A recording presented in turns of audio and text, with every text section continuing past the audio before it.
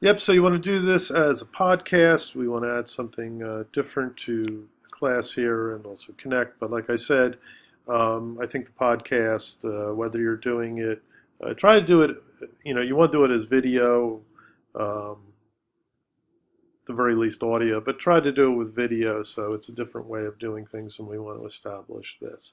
It should be a maximum of two minutes. Okay, so for the podcast, um, you can use the Canvas function here, okay?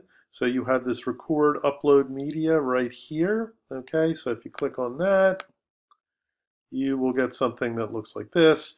You have to have the flash required for recording video, uh, which I have to always install uh, or bring out, so I don't have that right there. But that works, okay, to through Canvas as long as you have a camera on your um,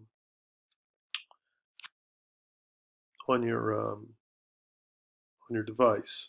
Okay, if you don't want to do it that way, um, or you can also use Screencast-O-Matic. Okay, that's what I use for my podcasts. So if you go to Screencast-O-Matic, there's a free application of it. Uh, so you can do that, and I can do screen capture. Okay, you can do screen capture. You know, most likely your computer has a QuickTime uh, film thing so you can do screen capture there and upload it. It'll construct it as an MP4, so there'll be no problem with that.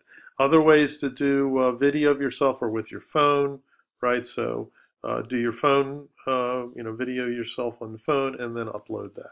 Okay, so uh, we want to make sure that you do that, and also again make sure you um, also attach an outline of your notes, okay, or an outline of what you said. So it's always good. It's always good, I would say, to script things out before you do video work, but it's uh, definitely a good idea to do it afterwards, just to make sure that uh, it's clear to your viewers, you know, the points that you're hitting, or it gives your your listeners some organizational sort of aspects. So if you work with Screencast-O-Matic, you can actually do that on screen itself.